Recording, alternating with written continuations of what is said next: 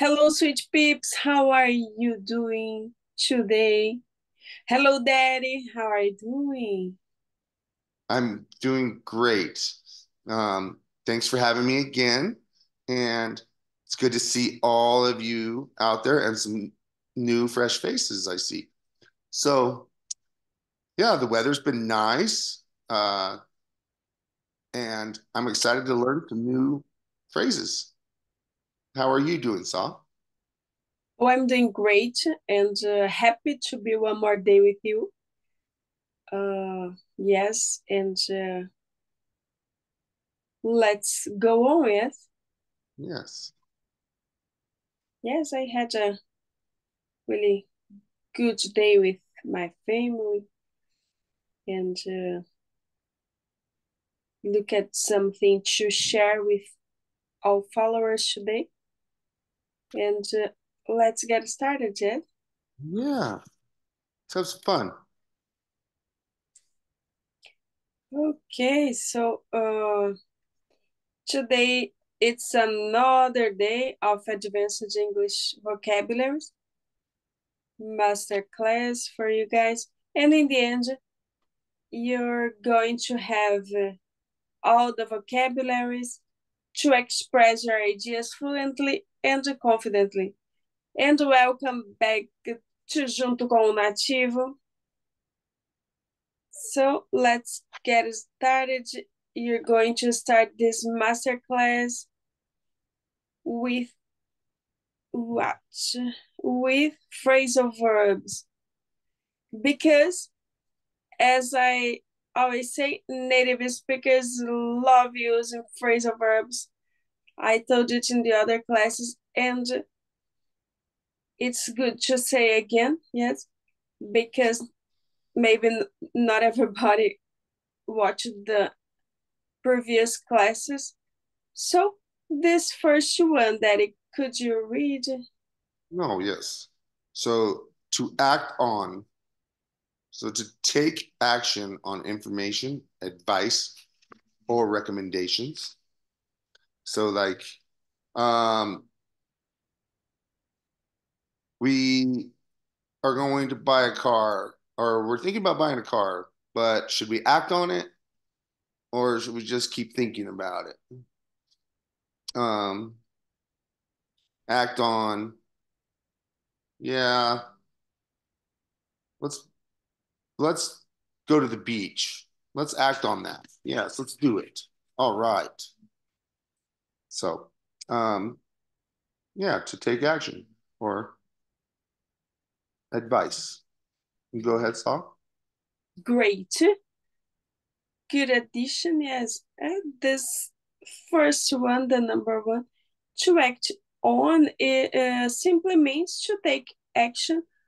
So to act, but you act on specific information, advice, or recommendations that you received, that you have received.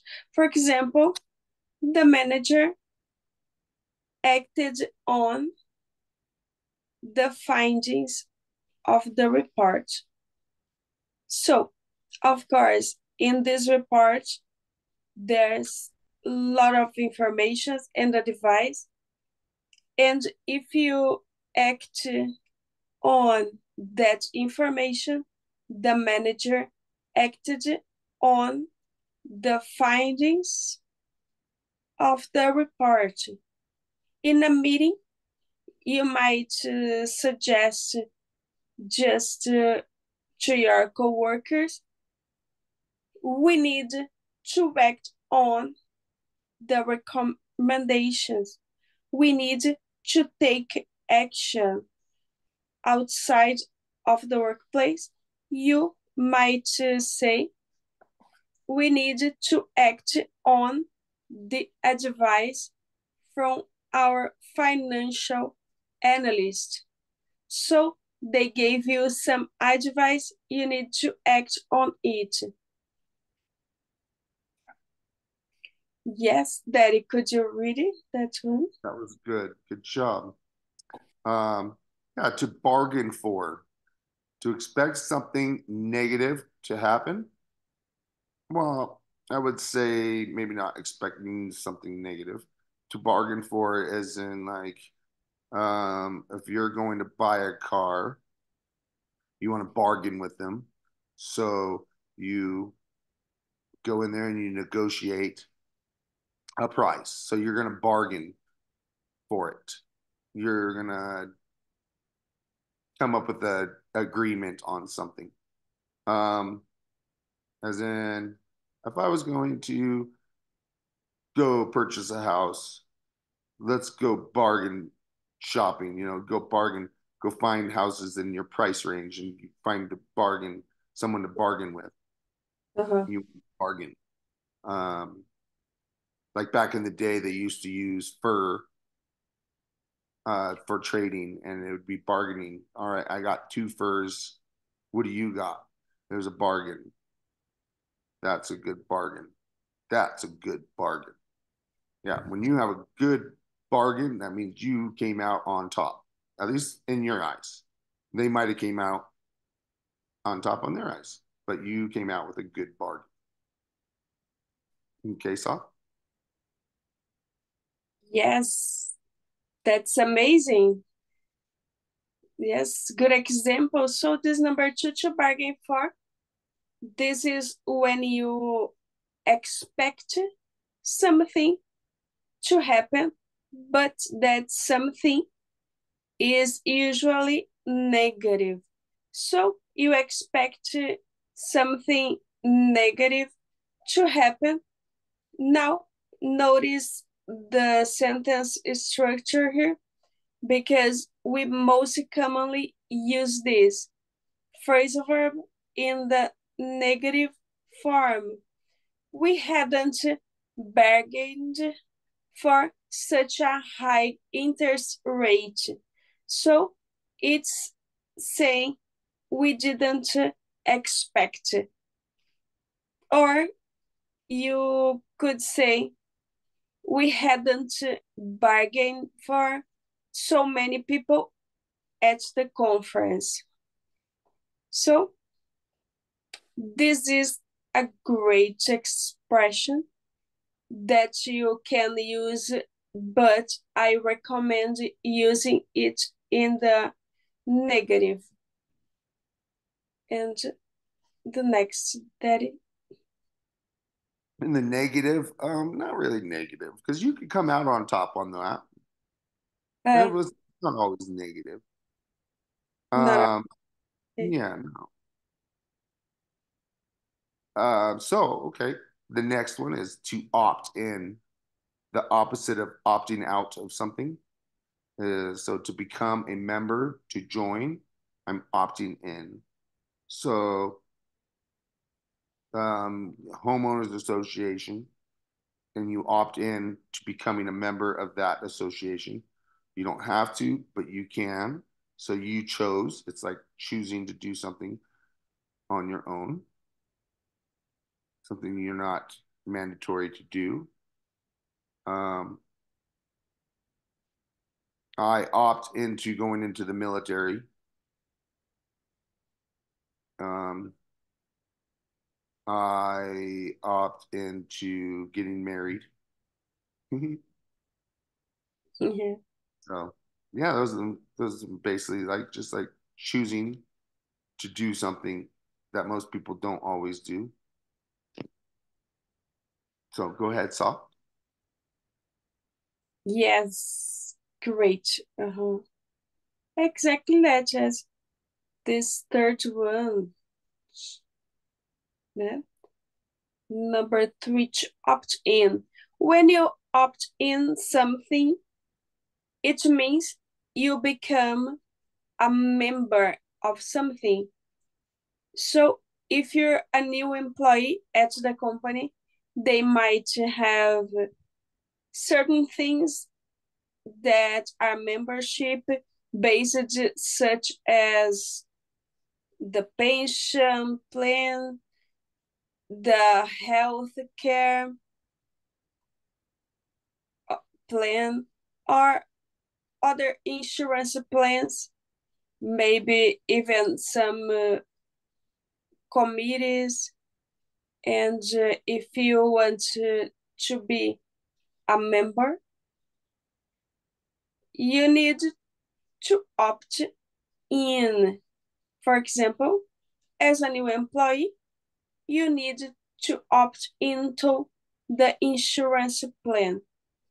Now, the opposite of in is out.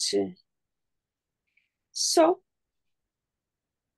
if you don't want to be a member, you can opt out. So, for example,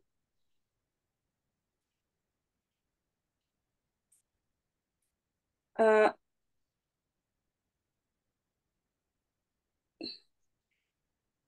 uh, the example is not here. what happened? If you don't want to be a member, you need to opt out. Yes, that's the example. and in the next, yes, you can read. To play down, and this is one I'm I'm not real familiar with. Um, I don't I haven't used it much. Uh, to make something seem less important, serious than it is in reality. To play down to to make it not as bad. Um, so like the media sometimes will make it worse than it is. So they play it off way more than it is. Or so we uh, play playing it off. Yeah, I guess I use it playing it off. So Okay, yes, you you're not so familiar with that one. that was played down, but I said play it off. so used to maybe. Yeah, so go ahead, Saw. Let me let me see. I might I'm gonna learn something here. Yeah. Yes, so that is the number four is to play down. Uh, this is a great phrasal verb. It means to make something seem less important or less serious than it's it really is. For example, the government tried to play down the scandal. So they had the scandal and they want to make it seem less important or less serious. They tried to play it down. Or I could say, example, the documentary played down his divorce. So there's this documentary on this person who got divorced. And they're trying to make it seem less serious or less important than it really was in reality. And that's what you need to keep in mind. In reality, the situation was more serious, but the documentary played it down. Uh, it wasn't that a big of a deal. Yeah. And to the next, Daddy. Yes, good job. Way to explain that one. That was that was a tough one, and I did get to learn something. So, to drop out, to quit a course, a school, a program, to just drop out of something. Sometimes it's an option, sometimes it's not. I did drop out of high school when I was my beginning year of my senior year. So I dropped out. Um, you can drop out of a race if you're going into a race and you're like, nah, I'm just gonna drop out. Yeah, not gonna do this. You can drop out of the sky. okay. I just had to throw that in fantasy uh, word. We can everything. we can do yeah, everything. you drop out of the sky. Where'd that apple come from? It dropped out of the sky. Yeah. Oh. right on my head. uh, yeah, you could drop like out. yeah. yeah, drop out of an airplane. So yeah, go ahead, Saul. Take cover. Mm-hmm. Okay, yes. So good. Uh, that is the number five to drop to drop out. So when you drop out, uh, this is specifically used when you quit a course or you quit an entire program, a school program. So if you're pursuing a degree uh, and you quit them, you drop out. Now, interestingly, Bill Gates dropped out uh, of a, a college to start Microsoft, and we know how successful that was. So, also, it might seem negative that you drop out, you quit, maybe not always the case. Mark Zuckerberg, uh, the founder of Facebook, also dropped out of school, of college to start Facebook. I'm not encouraging you to drop out, but it's not always negative. And you can also use this for a specific course. For example, I think I'm going to drop out of calculus. It's too difficult. I'm going to quit calculus. Yes? Into the next, Daddy. Yes. So to cut back, to spend less, do less, use less of something. Um, yeah, I drink a lot of coffee. I mean, you probably should cut back. It's turning my teeth yellow. No. Um, I need to cut back on my sugar. I'm going to get diabetes. No, huh? Good. Yeah. Need to cut back. Darling, you need to cut back on spending money. You spend way too much money. Let's cut back. Let's do it. so yeah, cut back. yeah, cut back on eating so much. Period. Eating too much. I eat too much. I need to cut back. So yeah, go ahead, Saul. You got this. Yes. Yeah, that is the number six to cut back. Good, Daddy. Your examples. This is when you spend less, you do less, or you use less of something. This is very commonly used by government or companies also. Example, the government has announced plans uh, to cut back to cut back on defense spending by 10%. Now notice I said on.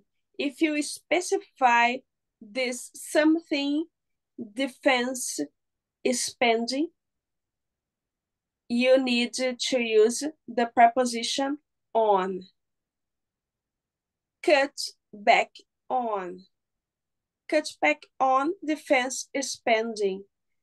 I could also just say, example, the government announced the plans to cut back. Yes. in that sense, you it is just reduce spending, spending less, and then you you have to clarify. Well, cut back on what? Now, we frequently use this as advice to someone.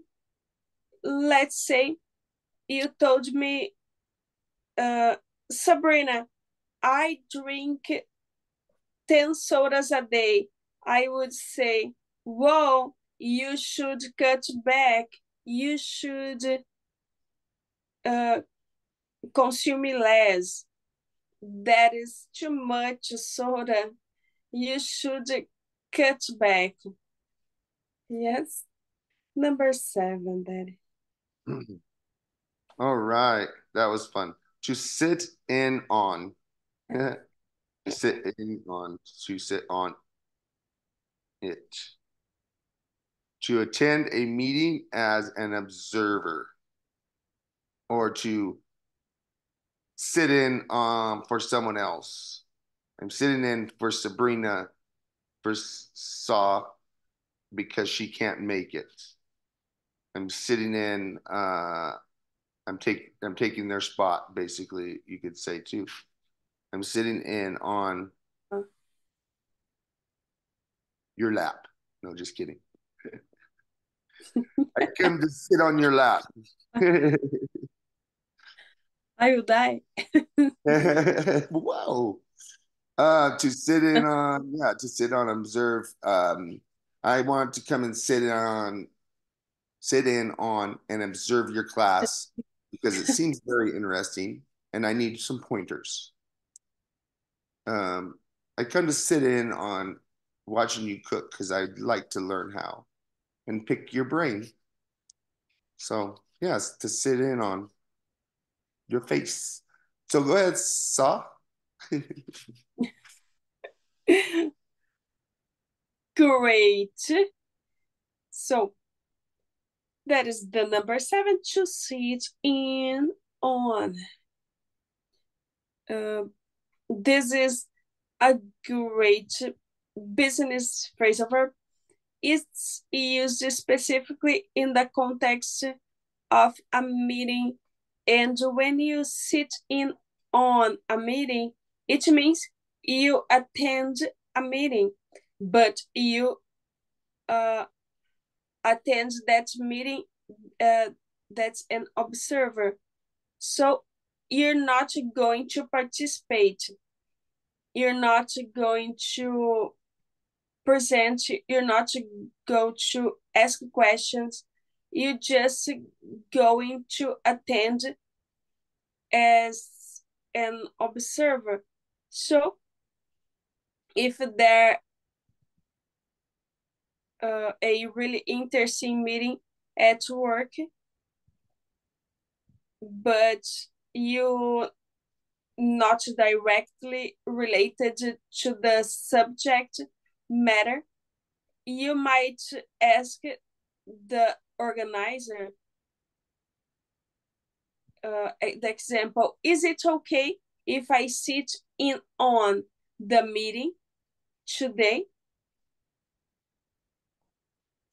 And which means you're just going to attend, to listen, to receive the information. You're not going to participate, participate. Or if you're planning a sales meeting, you might say, example, it would be useful to have someone from accounting sitting on the meeting. So someone from accounting is just going to be there to, to absorb the information, but you don't ex uh, you don't expect them to participate or present anything. So very useful phrasal verb in a business context. Number eight, Daddy. That was fun. I like that one. To whip up. Oh, to whip up. To get whipped. To prepare food quickly or drinks, I would say too. To... So, darling, I'm hungry. Would you please whip up some pancakes, please, real quick? Um, or can we whip up some margaritas? Oh, I'm hungry. That's a good idea. Yeah. pancakes. I love pancakes. Pancakes are so good. Yes. Uh, could we whip Morning. up some margaritas? Could we whip up some tacos? That sounds good. I want some tacos. Yeah, let's let's let's whip up some cake. I want a cake for my birthday. Yeah, to whip up. You like the whip. Yeah. So go ahead, Saw. yes, that's a uh, interesting one. This number eight, good daddy, good examples. This is a funny one. To Mhm. whip up. To whip up. This is very specific because it's used with food and is used when you make food quickly. So you make yourself a breakfast, lunch, dinner, a snack. It doesn't matter. You make any type of food, but you do it really quickly. So you might say, oh, no, I'm getting late. I running late. I need to whip up my breakfast. I need to make my breakfast really quickly. Or let's say you have some guests come over uh, unex- unexpectedly and you want to serve them something. You might say to your husband, example, give me a few minutes to whip up some appetizers. Yes. So I'm going to make some appetizers really quickly. So this is a great phrasal verb that you can add to your daily vocabulary. And now, number nine, Daddy. Those those appetizers were looking kind of tasty, weren't they? Little teeny ones, but they're looking good. So to Yeah. dress up. So you could use this for dressing up yourself, to wear more professional or formal clothing for a specific occasion, or you can dress up a vehicle to help sell it. You can dress up your dish that you are making to make it look better and more presentable. Um, I like to say, let's dress that pig up, or let's dress up a pig, like put lipstick on a pig. So basically, you're just covering up something that's ugly and making it prettier Mm-hmm. to help sell it or to, Good. yeah, to make it look more presentable. Yeah. So you're just dressing it up. Oh, that thing's ugly. You just dressed it up. Or that thing's a piece of junk. You just dressed it up. I could tell. uh, so yeah, dressing it up. Um, oh, you can even say dress it up. The flavor. Can you dress it up a little bit? The flavor's a little dull. So yeah, you could use that for clothing or looks on um, food, equipment, all kinds of stuff. So yeah, it's a good one. That's a good one. Go ahead, Saw, take over. Yes, great examples. So good examples to understand better. This number nine is to dress up. Thanks, Daddy. Yeah. Yes, I love this phrasal verb to dress up. Is when you wear more professional or formal clothing, usually for a specific occasion. So if you're going out for a nice dinner, maybe it's someone's birthday or an anniversary, you would uh, dress up. You would wear more formal or professional clothing than you normally would.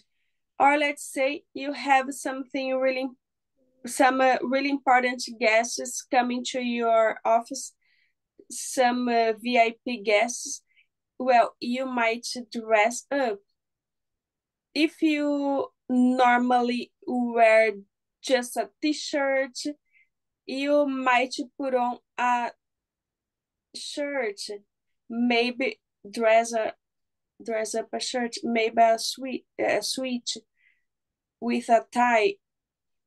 Or if you are going a wedding, of course that's a great opportunity to dress up, to wear more formal clothes. Now we often use this in questions form. If you invited uh, to a dinner or a party, you might ask, example, do I need to dress up? Do I need to wear more formal clothing? And they could reply back, example, there's no need to dress up.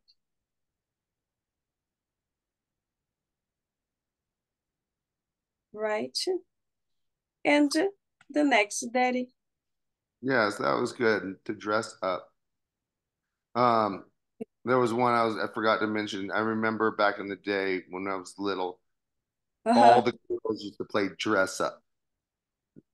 They'd always get all their clothes and their mom's clothes, and they get in there and they play dress up, or they play dress up with their Barbies. Remember that? I'm sure you guys played that stuff when you were little. Mostly girls did that. So, anyways, yeah. Yeah. just dress up.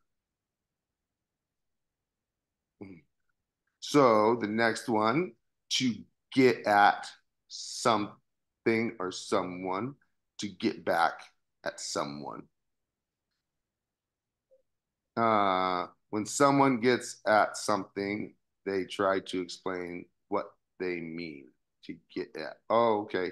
So yeah, I was explaining a little different. To get at. So what I'm trying to get at is that I'm saying it wrong. no.